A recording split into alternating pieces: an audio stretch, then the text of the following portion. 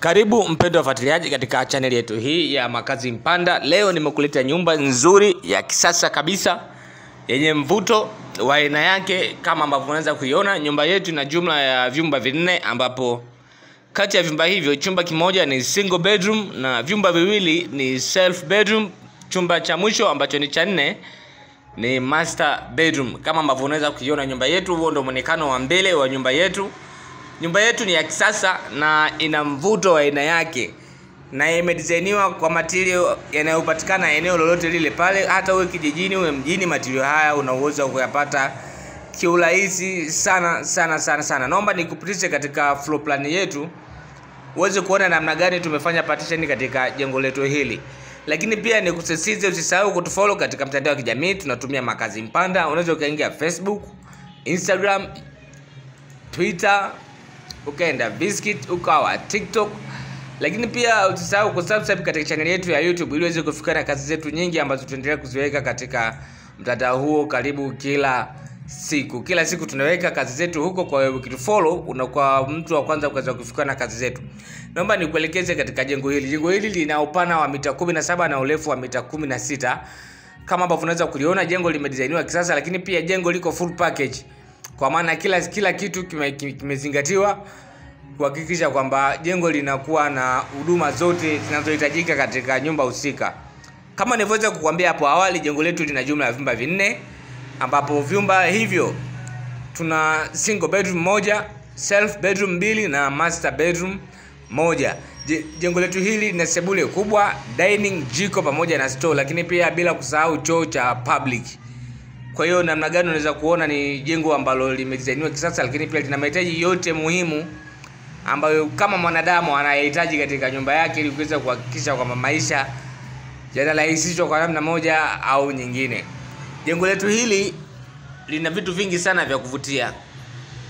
Naomba niweze kukutajia moja baada ya jingine. Cha kwanza ni ujengo, ukubwa wa jengo sio ukubwa sana, pamoja na kwamba lina vitu vingi ndani yake lakini jengo sio kubwa sana. Upana wa mita 17 na urefu wa mita 16 ni, ni, ni, ni vipimo vya jengo la kawaida ambalo sio kubwa sana, lakini jengo hili ukiangalia lina vitu vingi sana ndani yake. Hizi ni picha za muonekano wa 3D na, na, na kujaribu kuhusianisha na picha ili uweze kuona namna gani tumeweza kulidesign kisasa na namna gani limedizainiwa kwa kwa kuhakikisha kwamba linakuwa na mvuto, hata kama likijengwa linakuwa lina mvuto vile vile, kwa sababu ukijenga ramani hii kwa kufuata vipimo ambavyo vinakuwa vimewekwa kwenye ramani hii, almost ni lazima ramani jengo lako litatoka kwa namna ambavyo linaonekana hapo kwenye picha zetu.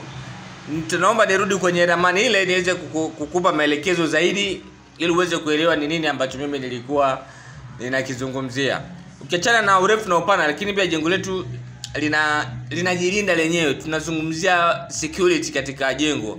Kama ambavyo unaweza kuona, hakuna mlango ambao una uwezo wa kutumika na mtu ambaye sio sio mtu sio mwenyeji au sio sio mtu anaishi katika nyumba hii, anaweza kuona mpangilio wa nyumba ulivyokaa. Tunaona mtu anapotoka sebuleni kuelekea vyumbani anakutana na ukuta wa moja kwa moja ambao unamkinga yeye kuweza kuona hata mlango wa, wa, wa jengo hili, lakini pia hata kama akija kwenye corridor hii ya kuweza kuelekea kwenye public toilet, akiangalia upande wenye vyumba vile vitatu ambapo kuna self mbili na single moja, atakutana na ukuta. Ukuta ule utamkinga hawezi kuona mlango. Mlango pekee utakaweza kuonekana moja kwa moja ni mlango wa kuja jikoni. Hiyo ina, ni, ni, ni, inasaidia sana kwa sababu kiusalama, sio kila anaingia katika nyumba yako ana, ana, ana nia njema na wewe.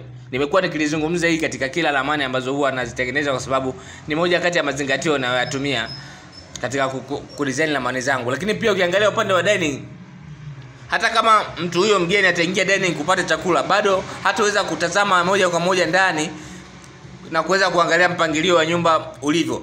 Hizi ni picha za muonekano na 3D zinazoendelea kuonekana katika kila pande, kila kona ya jengo letu hili.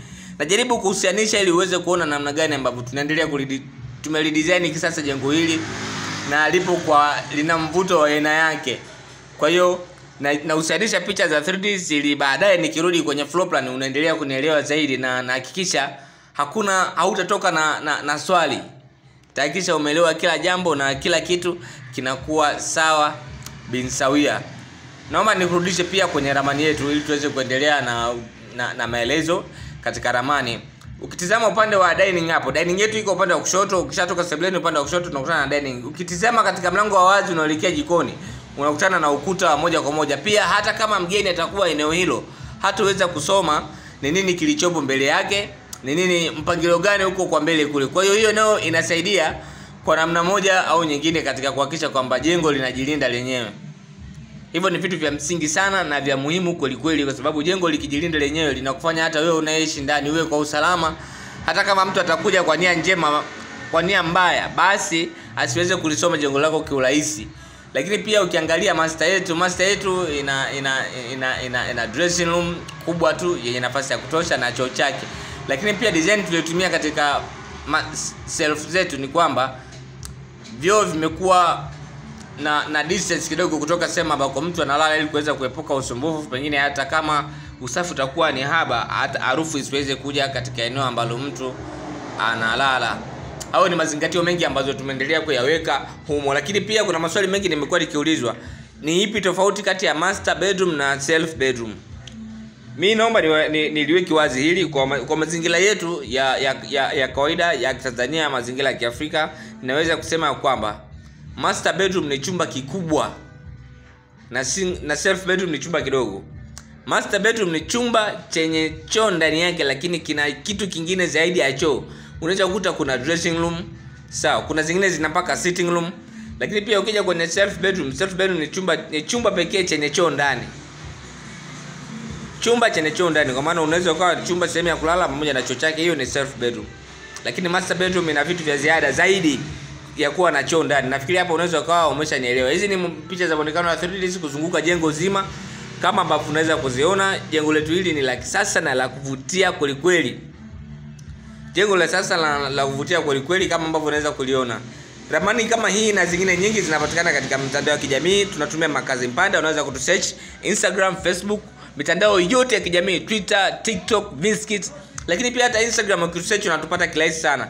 Nikusi usubscribe katika channel yetu ya youtube ili uweze kufikiwa na kazi zetu nyingi ambazo tunaendelea kuziweka karibu kila siku. Ukisubscribe huko utafikiwa na kazi nyingi ambazo tunaendelea kuziweka na utakuwa wa kwanza kuweza kuangalia ni nyumba ipi ambayo wewe unaipenda na ni nyumba ipi ambayo wewe unatamani uijenge ama ni nyumba ya ndoto yako. Namba yetu ya simu ni hiyo hapo 0758 260 690 0758 260 690 0758 260 690 karibuni sana na asanteni kwa kunisikiliza